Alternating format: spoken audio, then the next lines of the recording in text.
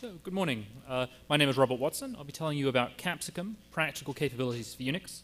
I'd like to start by acknowledging my co-authors, John Anderson, also at the University of Cambridge, uh, and Ben Laurie and Kris Kennaway, who are at Google's London office. Uh, and also to thank uh, Google for their sponsorship. Uh, this work is done collaboratively, uh, including with the FreeBSD project and a number of other open source projects, as we tried to kind of explore the space of what was possible here. The project's been going on for about two and a half years now, so we're kind of at a, a midpoint and a good point to break and, and talk about what we've been up to. Uh, so Capsicum uh, is a hybrid Unix capability operating system, and there have been plenty of hybrids between Unix systems and capability systems before, uh, including Mach, certainly, but also a, a, number of other experiments. What we're interested in is the requirements of complex security-aware applications. These are applications that have their own security models and are trying to do something complicated and interesting, such as map the single origin policy found in the World Wide Web into local security primitives. and in that sense, this project is somewhat comparable to the previous talk as well. Um, what I'm going to do is tell you a bit about those requirements. I'm going to talk to you a little bit about why mandatory access control is not quite what we needed to solve the problem here, since MAC uh, seems to be becoming very popular. Uh, I seem to have helped a little in making it popular uh, in, in, various systems, including FreeBSD and Mac OS 10, so I take some responsibility for that. Um, but capabilities provide us something new. I'm not going to reason about theoretical expressibility of capabilities in MAC. What I'm going to argue is that capabilities allow us to express something a little better than mandatory access control might allow us to do. I'll tell you about Capsicum's capability mode and capabilities. Uh, we have done a lot of work in Capsicum. There are a lot of operating system changes we've made, new primitives we've added, and I only have a, a few minutes to talk about it, so I'll just stick to the, what I think are the key points. I'll then talk a little bit about how applications interact with sandboxing, and there, I think there's some lessons learned both for how you integrate capabilities, but also some of the other systems that are around uh, where different systems solve problems better and worse. Uh, finally, I'll mention a few ways in which we plan to build on Capsicum in the future, uh, since we think this is a pretty interesting technology. So in case you missed it somehow in the last two decades, there have been a couple of paradigm shifts. Uh, we've seen migration from multi-user machines to multi-machine users. Uh, I used to log into a Unix server from my terminal. Uh, now I carry three different Unix servers you know, in my pocket, in my bag as I walk around. Uh, that's really cool. Um, but on the other hand, it's caused some security problems and certainly requires some rethinking. Uh, applications have suddenly become something much more interesting than we were before. Applications used to be these nice bundles of code you got from a vendor, and you installed them, and they kind of did your bidding if all went well. Uh, and if they went badly, uh, then things still kind of mostly worked. Um, today, applications are a portal through which you reach uh, many different competing interests. Uh, you may view web pages using the Facebook application. At the same time as you share personal information, applications are composed out of many parts dynamically as you load web pages these parts have different trust properties. And so in the context of this one-word application, we're trying to reason about many different principles and many different components, all dynamically composed, which is very hard to think about uh, and certainly hard to get right. And I think we would argue the tools that we have are not very good for dealing with that currently. One interesting spot in this big picture of cloud computing and thin clients and workstations and servers uh, is the thin client, because this is the point where a lot of the composition that's interesting happens. Uh, thin clients turn out not to be very thin. They have very large operating system stacks, very complicated web browsers, uh, and they're the place where many of these different security domains all come together. And so we need to think very carefully about the security that takes place there. So what we've seen in the last decade or two is a, a shift, I think first adoption of discretionary and mandatory access control in commodity computer systems. Uh, in the 1990s, we saw address space separation turn up in commodity computers that appear on people's desktops. That was a pretty nice thing for tech transfer, uh, if only 30 years late. Uh, then we saw discretionary and mandatory access control start to get distributed, especially mandatory access control in the last 10 years. And now we're seeing these tr uh, people trying to use these for sandboxing, which is not really quite what they were intended for, uh, especially when it comes to lots and lots of quite malicious pieces of code all arriving at once. So we've seen kind of a transition there. Um, we've seen this move towards application security. If you're going to have applications that deal with all these parties, application writers will want to think about security, it turns out. This is very encouraging. We would like to help them. Um, and one of the things they do is try to do this mapping from distributed to local security domains, which is a really important problem. And it's one of the areas a lot of our local security tools have failed because they're all written with this idea of multiple local users. Maybe they have labels, maybe we're doing interesting things with information flow, but they're really oriented around a local security problem. And we're very interested in the distributed security problem. Uh, one particular thing I was going to mention, I don't have on the slide, but is relevant in the context of the last talk, uh, is the fact that we need to do this composition of security things inside the application. So we now allow applications to create sandboxes that themselves create sandboxes as we build down more and more code, which is a, a critical requirement. So here's the kind of world we live in. Um, we have the Chromium web browser. Uh, we might visit a bunch of different sites that use very different technologies. We have the uh, traditional World Wide Web with static web pages. Uh, we might have a nice sort of JavaScript Web 2.0 email application that deals with our sensitive email. This is actually John's sensitive email as opposed to mine. Uh, we have the uh, nice YouTube with its Flash uh, plugins, uh, which we'll see we'll talk about later on how the Flash security model has evolved. Uh, and then we might have some sensitive banking information. Um, this is also John's sensitive banking information. This is a very carefully crafted presentation to preserve my sensitive information. So lots of complex technologies. We have virtual machines, we have scripting languages, multiple scripting languages, multiple virtual machines.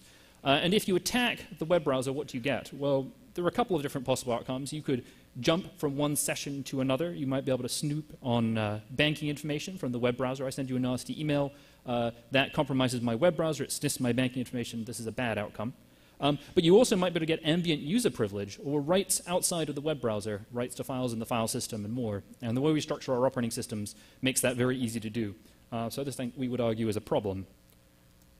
And just to kind of hammer that home, uh, security vulnerabilities can and do happen in web browsers in large quantities. So.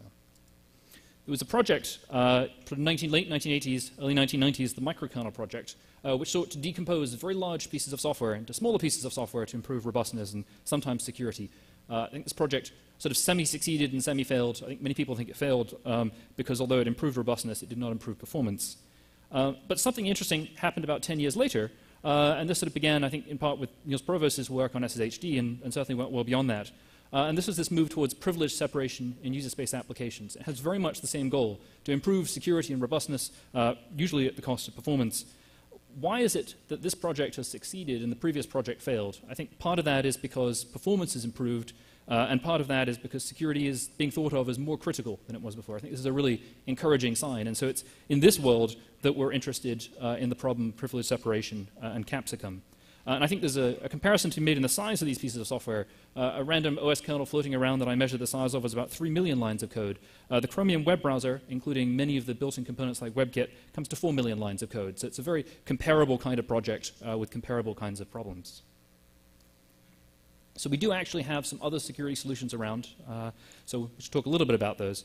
Uh, mandatory access control, of course, is a, is a, very interesting technology, and one of the more predominant flavors right now is type enforcement, uh, especially in SE Linux. Uh, and I'm not going to argue that capabilities are more expressive than mandatory access control. What I will say is they're slightly more expressive in certain ways, and they reflect some of the concerns that we're interested in better.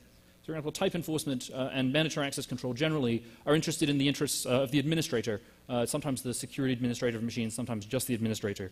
Uh, but when we have a web browser, uh, we're interested in some other parties who want to influence policy, such as application writers who are building pieces dynamically that are getting constructed in the client, uh, or even the end user of the system. Uh, mandatory access control sees the user as someone to constrain, and we actually see the user as someone to enable in terms of the ability to express policy. Uh, they'd like to assign rights to applications, and we feel capabilities are a better way to do that.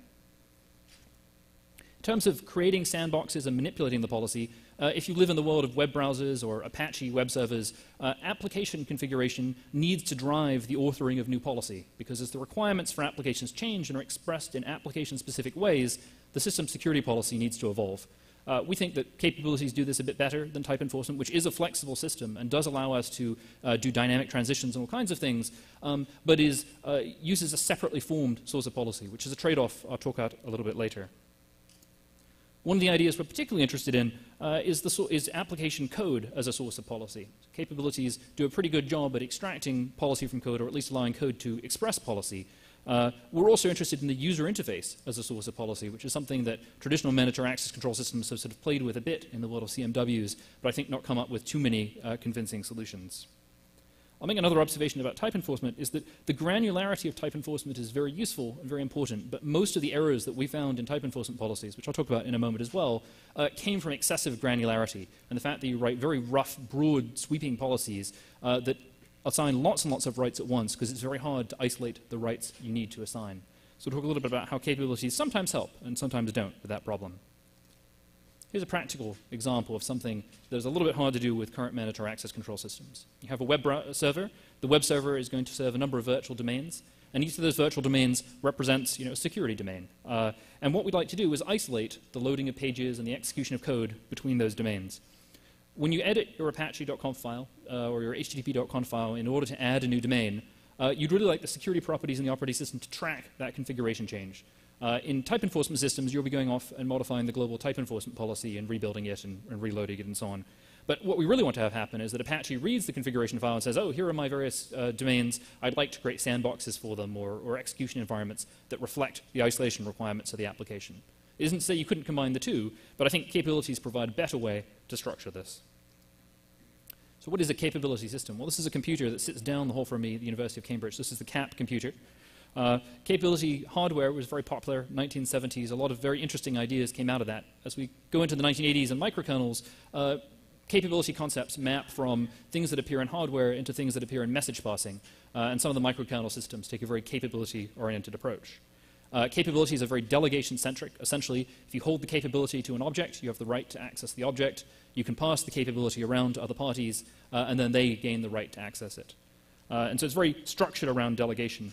Um, many systems use ideas from capabilities, including Unix, and we take advantage of that.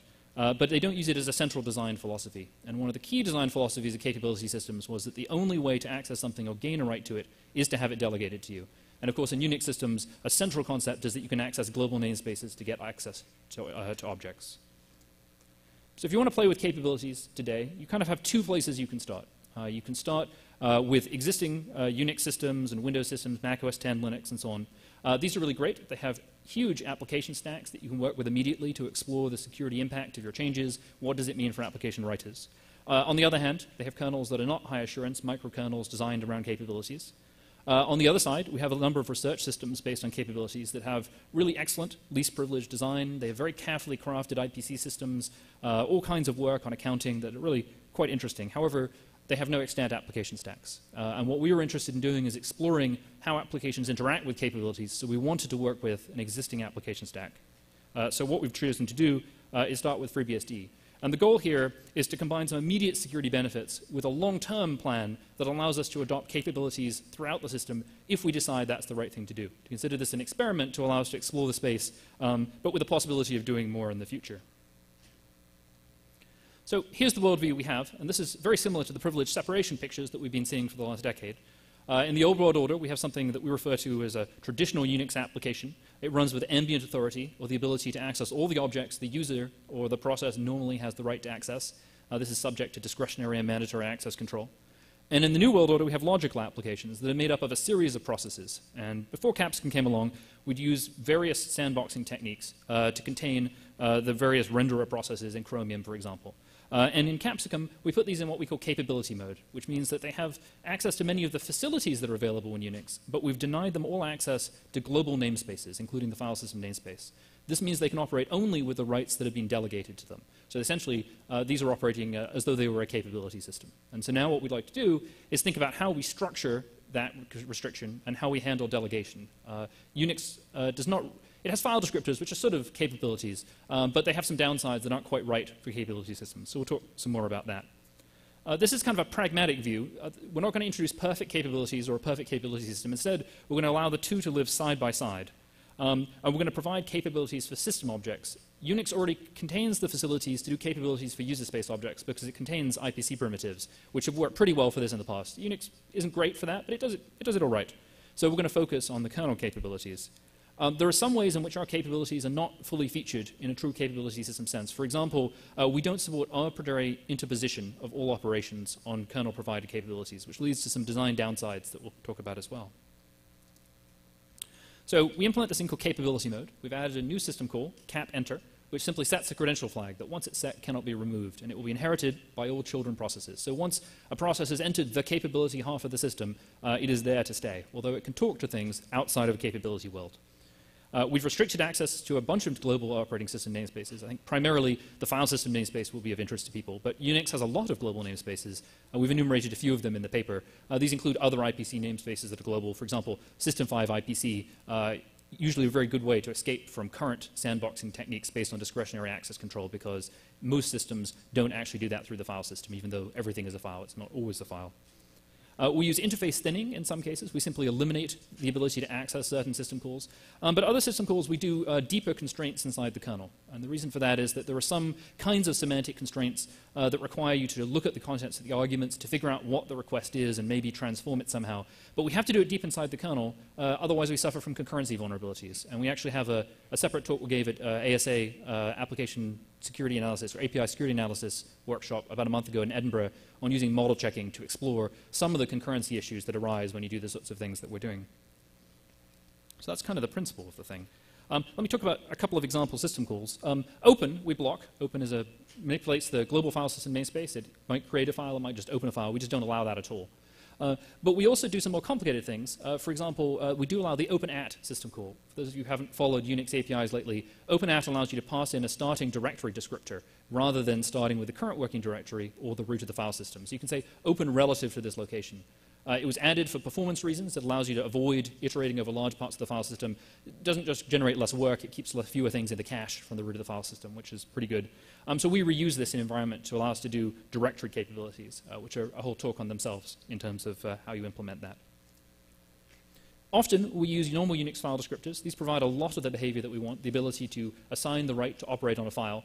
Uh, but we found there are a number of cases where we needed something more refined. Uh, in particular, if you have a series of nested sandboxes and a parent sandbox has read-write access to a file, you might want to allow it to delegate read access to another sandbox without reopening the file. So we want to be able to refine the rights that exist already.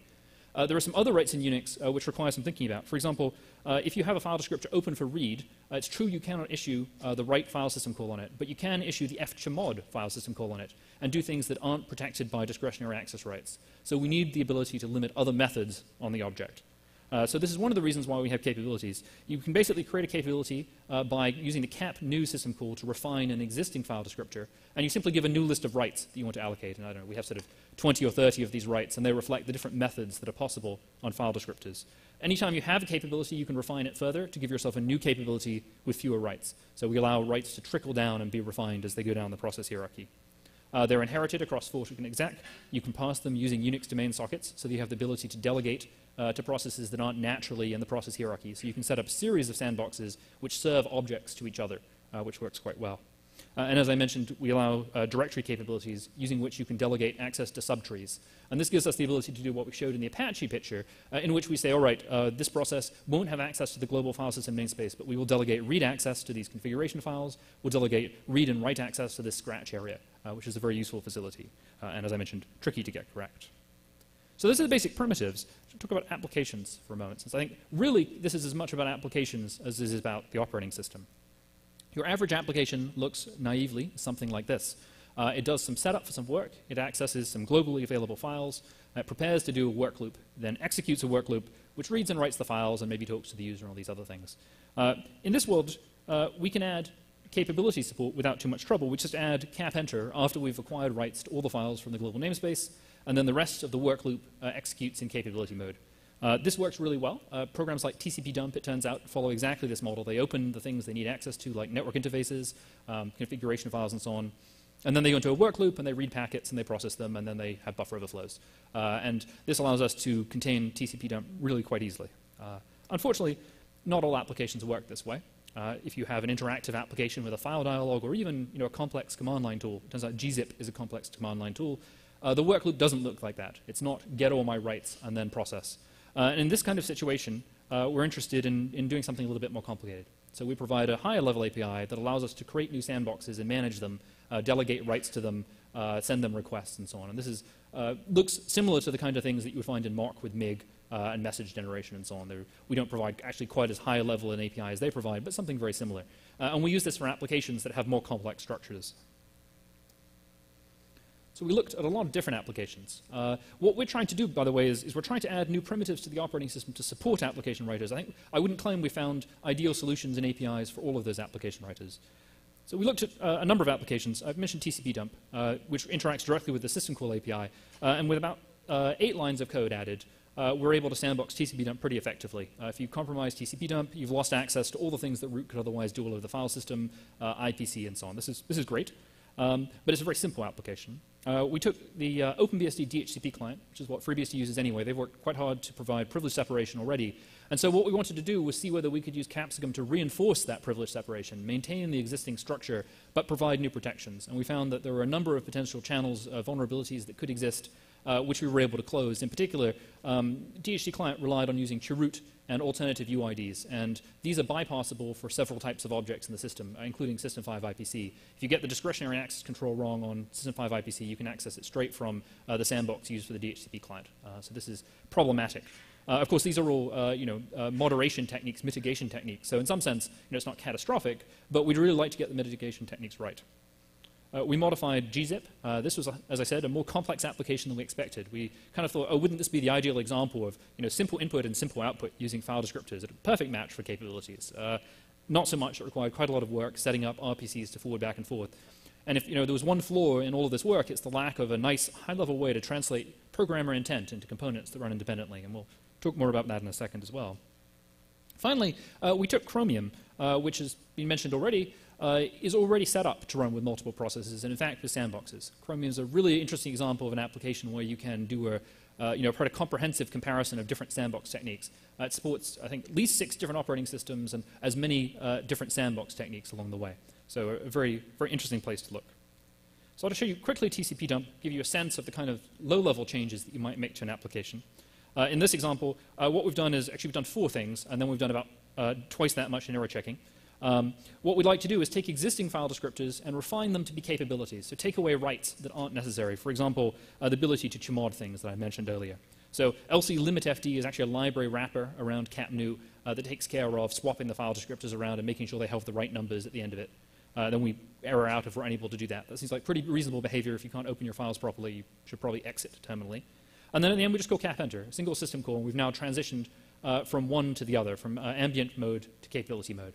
Now, there are lots of interesting questions about that. One of the reasons that we have libcapsicum is to ensure that when a sandbox is set up, uh, all capabilities it receives are properly flushed. This means removing file descriptors that have been quietly opened by libraries, uh, removing memory mappings that aren't required. Uh, when you hand modify an application using the calls directly as we've done here, that scrubbing has not taken place. And so while this is a very small change, uh, in some ways this is a less robust change than the sorts of changes we've made to higher level applications.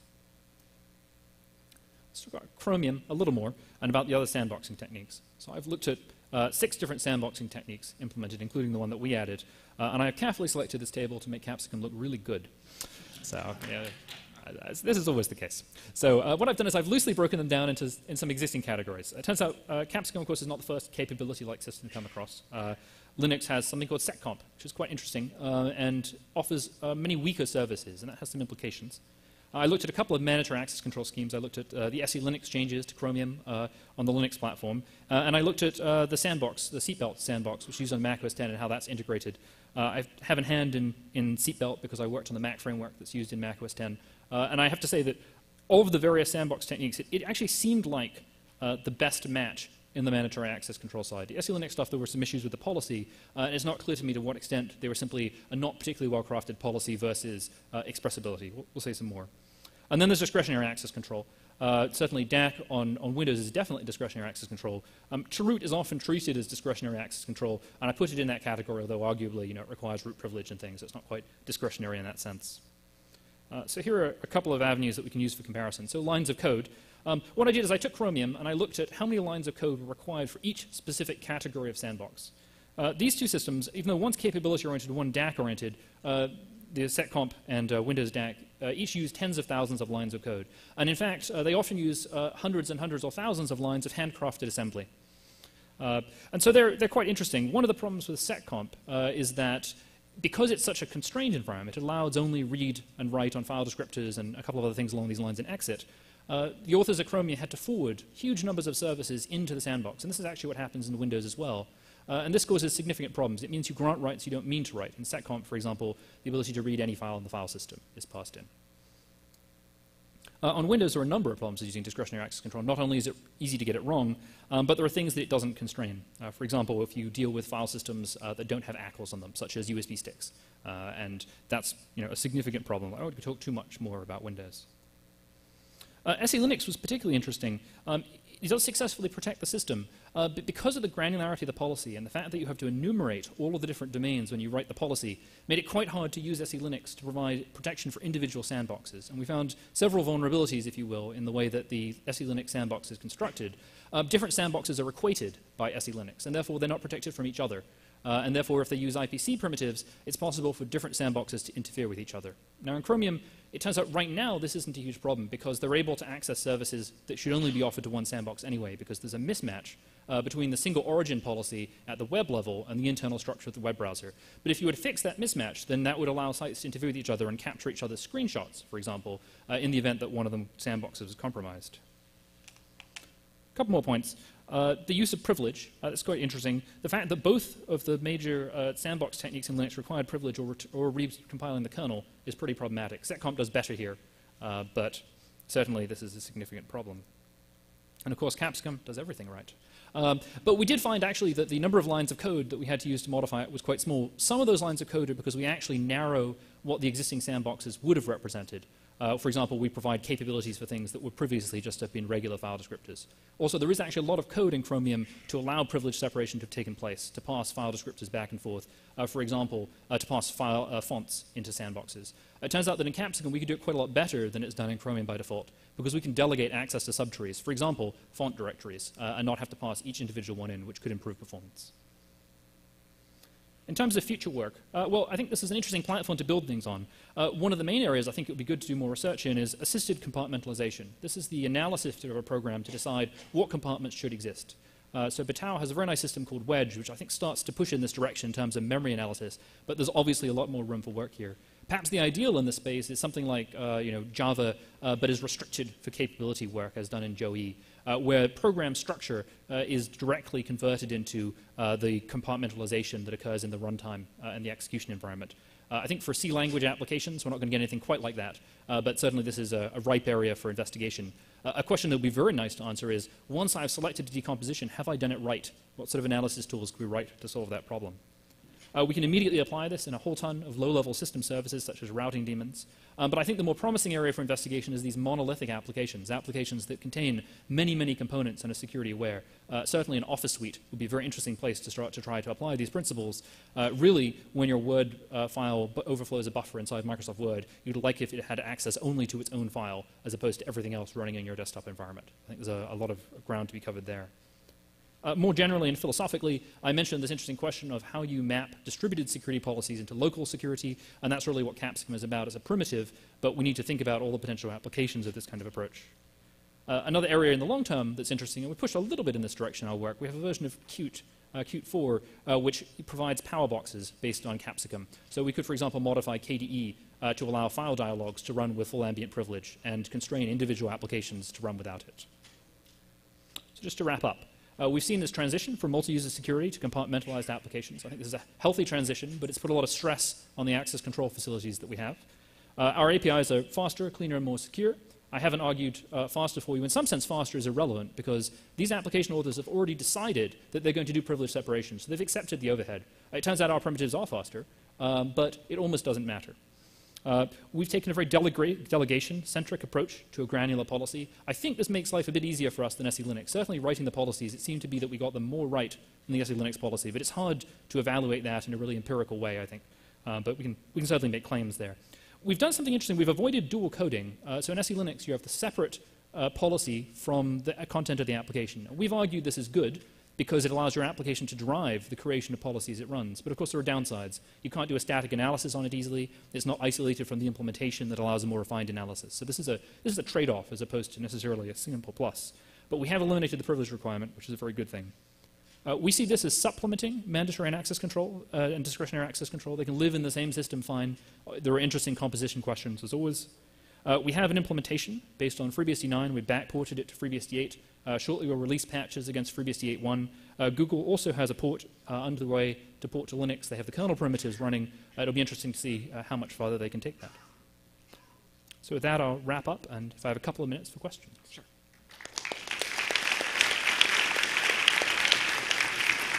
I just ask people to keep keep it to one question per person. A quick, quick question. I was very uh, intrigued with, with your uh, earlier comment about the dichotomy uh, between type enforcement and mandatory access. Uh, it seems that uh, we tried to do both of them in, in the Brew Leaser operating system in the 70s, and, Right. and it was okay. It worked.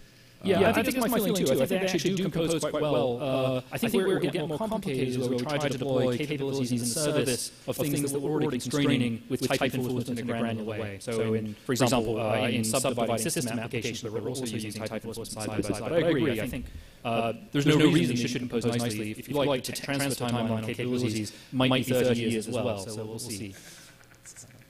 Next question. Hi, uh, hello, Wang from Microsoft Research. Uh, I think uh, capability-based uh, sandboxing process, sandboxing is definitely the right way to go. A lot of the significant challenges come from um, the backward compatibility. Uh, whether you know things like Chromium can really uh, run well on your system.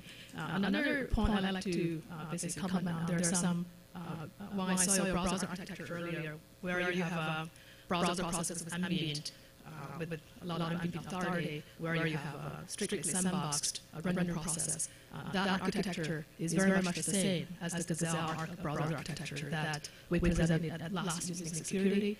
Uh, and also your observation of where, you know, how the world have migrated from multi-user um, OS to, uh, you know, a multi-machine user kind of setting. Uh, this has also been observed in our service OS project. which Absolutely. We've actually just simply adopted the model that was already present in Chromium for sandboxing. I think I, it, I easily argue that, in fact, you want to do much more sandboxing than is present in Chromium today. So certainly, another of the weaknesses in the structure that we presented is what do you do about the windowing system? Uh, so one of the reasons Yes, that's so also much in- privilege in the resides Gazelle in the work, process. In the Gazelle work and Service OS work that we have explored, uh, especially the situation where you know, that the principals are embedding content from one another, and that has implications on both the display and resource management. Right, and I think we've still seen that come out of some of the other capabilities we work in the last decade or two. Uh, for example, uh, the DARPA browser really brings out a lot of those aspects. Absolutely, as well as EROS work, which we also have dealt with the display. But there are some special uh, scenarios in the web application scenario which we brought out. uh, in Yeah, and, and I think the other observation you made, which is that you know this is it's kind of time for all this stuff. I think that's right. One of the interesting things that's happened with mobile phone security, I think is actually very exciting, is that on smartphones, OS vendors have selected to break compatibility with existing application models in order to add security. So in Android, uh, in iPhone, and various others, you know, there's been an explicit design choice to say no applications from the old environment will work directly. They have to be modified, and one of the design assumptions will be more security. Uh, and I think that's great, and I think we should keep doing that. Well, I think the web browser has got a lot of things correct. For example, the same origin policy that has implied, you know, the right principal model. Okay, Where I- I don't uh, wanna the, the rest of the system Yeah. war But- is but- but- actually but- erasing. But but I'm going to have to. I just want to give everybody a yeah, chance to yeah. ask a question. The good news is there's lots more research to do, so we'll all be employed for a while. Right? Hi, um, I'm Tim, Tim Conway from Florida International University in Miami.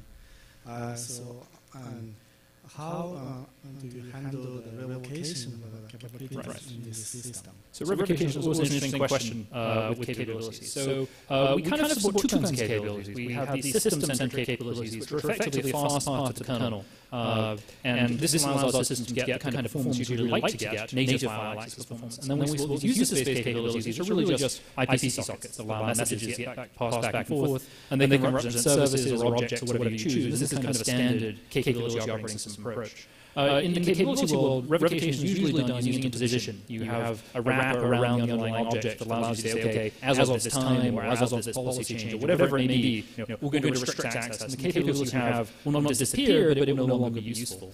Because we have a fast path into the kernel, we do not allow interposition on some kinds of objects. So we need to be able to allow memory mapping files, for example. So we actually pass the file around, and we have no way to provide revocation for that currently. We're very interested in providing interposition. We're very careful about how you do interposition. Uh, systems like Mach did allow wrapping uh, objects that could be memory mapped. Uh, so uh, user space pages and so on were by that. You can certainly imagine doing that here. Uh, but I think the consequences of that are non-trivial and have to be thought about very carefully. Uh, you could also imagine modifying what we have now to allow revocation of delegated capabilities using a specific kernel mechanism. We haven't done that yet. Thank you. Um, Crispin Cowan, Microsoft, and I'm going to ask a Linux question. Um, you spent a bunch of time talking about SE Linux and didn't mention AppArmor. AppArmor had the change hat system API specifically to do what you're talking about, allow an app to decompose itself in multiple domains. Uh, so I'd be interested in your take on that. Right, I think um, AppArmor and the macOS 10 seatbelt system are actually very similar in many ways in terms of how they allow policies to be assigned to applications and so on. Uh, I think those are both very interesting systems. I wouldn't uh, denigrate them. I would say that I think that the capability-oriented structure, whether implemented in our system, Capsicum, or implemented using a system like, uh, like AppArmor, makes a lot of sense. Uh, I think being able to refine file descriptors is very useful, and being able to provide a very effective default denial global namespace has a lot of value. So that kind of approach is a good idea. Thanks. Let's thank the uh, speaker one more time.